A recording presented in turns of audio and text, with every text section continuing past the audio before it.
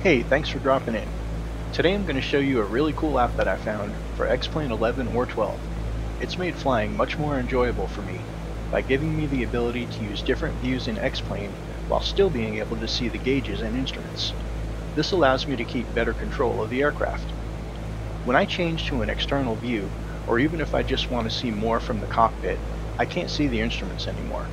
This app runs on almost any Android phone or tablet and lets me see my gauges no matter what view I'm using in X-Plane. The app that we're talking about today is this one here, running on an old Pixel 2 XL on top of my Honeycomb Alpha Yoke. That's a different app running on the tablet there with the Garmin. I'll be reviewing that one in the near future, and if you click the sub button, you'll be among the first to know about it and all of the other reviews I do in the future.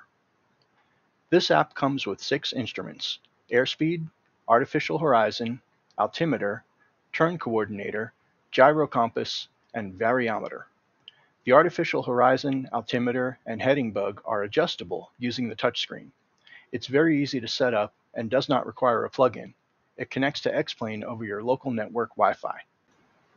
To make adjustments, you can either do them in X-Plane using your mouse or by using buttons and switches that you might have configured on a controller, or you can use the touchscreen on the app itself. The changes will be reflected in the app and X-Plane no matter where you make them, in the sim or on the app. It's pretty cool. To use the app to make adjustments, simply tap on the gauge that you want to adjust. It will then become highlighted. Then you can make adjustments using the touchscreen on your device with a circular motion around the center of the screen.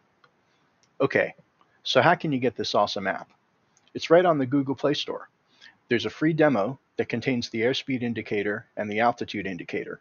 The demo never expires, it's free forever. The Pro version has all six gauges, and it's only $4.99 United States dollars, and that's just a one-time cost. To me, it's well worth 5 bucks to have this app for the rest of your X-Plane days. You can find a link to both versions in the description of this video. If you like this video, go ahead and click the thumbs up. It really helps the channel and you're telling YouTube what kind of videos you like. Then YouTube will show you more of what you like in your feed. Happy flights. See you in the next one.